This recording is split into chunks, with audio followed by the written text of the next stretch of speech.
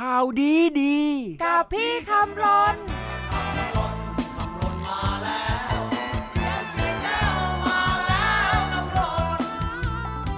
ช่วยวัดช่วยพระก็คือเท่ากับช่วยชาติไทยให้แข็งแรงนะ จะบอกให้ผ้าป่าหยุดนมมือยึดถือพระธรรมมัน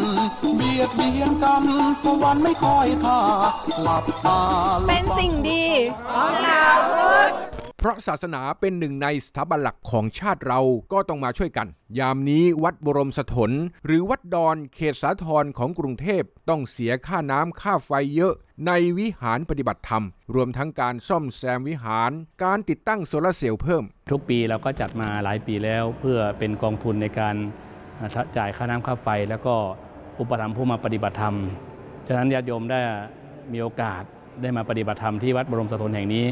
ก็ขอเชิญชวน การนี้จึงมีการจัดทอดผ้าป่าสามัคคีมหากุศลขึ้นมา ซึ่งก็ได้ผู้ใจบุญมีเมตตามาช่วยกันจำนวนมาก วัดกำลังพัฒนาเป็นสถานที่ปฏิบัติธรรมบรรยากาศผมว่าเยี่ยมมาก การปฏิบัติธรรมของเราเนี่ยก็คือในแนวสติปัฏฐาน 4 ซึ่งมีประจำทุกเดือน บ้านช่วยวัดวัดช่วยบ้าน วัดช่วยโรงเรียนคือบวรต้องอยู่คู่กัน ปิติปลื้มยินดีได้มาร่วม ทำกิจกรรมในครั้งนี้ สมใจมากเลยมาทำบุญผ้าป่า ค่าน้ำค่าไฟแล้วก็ทำวิหารด้วยนะคะ พวกเราก็ได้มาทำจิตอาสาที่วัดดอนช่วยเขา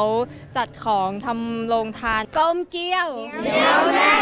สรุปให้ดีๆ ดังนี้ดังนี้ว่าสามเสาหลักค้ำจุนประเทศไทยให้คงอยู่คือชาติ ศาสนา พระมหากษัตริย์ขอรับผ้าป่าช่วยให้งานสำเร็จเพราะคนเข้าไม่ถึงธรรมะนาจะนา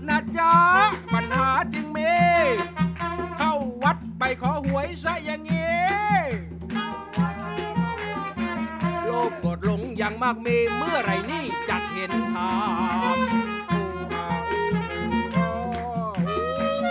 ข่าวดีๆกับพี่คำรณ บุญทานเป็นของคู่ใจของคนไทย และชาวพุทธ ให้ความรัก ให้ความรู้ให้อภัย ยึดถือกันไว้ให้มั่น วัดดอนเขตสาทรกทมนะ